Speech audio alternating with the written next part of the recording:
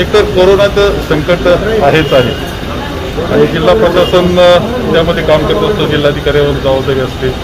आणि मी अनेक जिल्ह्यांच्या या बैठका आतापर्यंत घेतल्या. त्या पद्धतीनं कोरोनाचं संकट आणि आता जे चक्रीवादळ आलं त्या दोन्हीची माहिती मी घेतलेली आहे.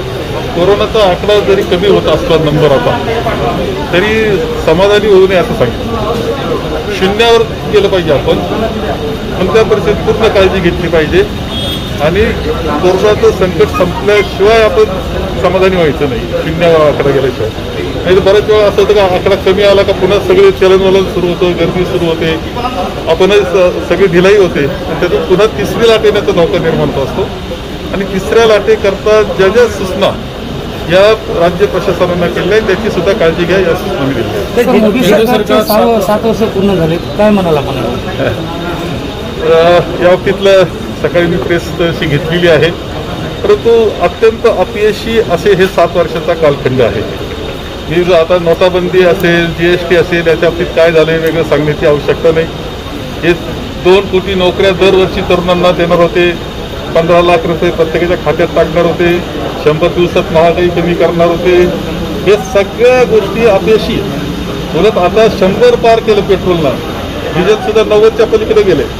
एल पी जी गॅस नऊशे रुपयाला गेला. महागाई प्रचंड वाढलेली आहे, अशा प्रकारची अवस्था आहे. खाद्यतेल आता दोनशे रुपयाला जाऊन पोहोचलं. एकशे ऐंशी दोनशे रुपया. ते साठ रुपये होतं. असं या वेळेस म्हणजे एखादा रुपया वाढला पेट्रोलचा डिझेलचा तर रस्त्यावर येणारे भारतीय जनता पक्षाचे सगळे नेते आणि कार्यकर्ते आता कुठे लपले? शोध घेतला पाहिजे त्यांचा.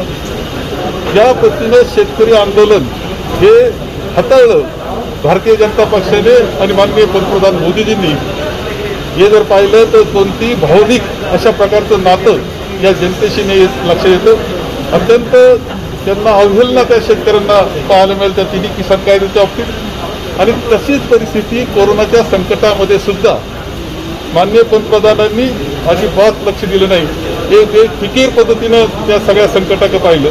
स्वतःची इमेज वाढवण्याकरता लसी परदेशात पाठवण्याचा त्यांनी उद्योग केले. आणि आज संपूर्णपणे देश अडचणीत आहेत महाराष्ट्रात आम्ही परिस्थिती हाताळली. पण इतर राज्यामध्ये ज्यावेळेस नद्यांमधून प्रेत वाहतात वाळूमधून प्रेत उघडे पडतात ही संपूर्ण जगाला पाहायला मिळालं. याच्यापेक्षा वाईट गोष्ट नाही या सगळ्याची ही लाजीरवाने आपल्या मा- देशाकरता. हे सगळं तंत्राच्या धोरणामुळे घडलेलं आहे. आणि म्हणून संपूर्ण त्यांचं अपयश आहे. ही वस्तुस्थिती आहे. आणि म्हणून आम्ही तर या सगळ्याचा त्यांच्या सात वर्ष या सगळ्या कारकिर्दीचा जी अर्थव्यवस्था आपली जायला गेली म- नोकऱ्या मिळाल्या नाही बेरोजगारी वाढली या सगळ्या गोष्टीचा एकत्र त्यांच्या कारभाराचा निषेध आम्ही केलेला आहे.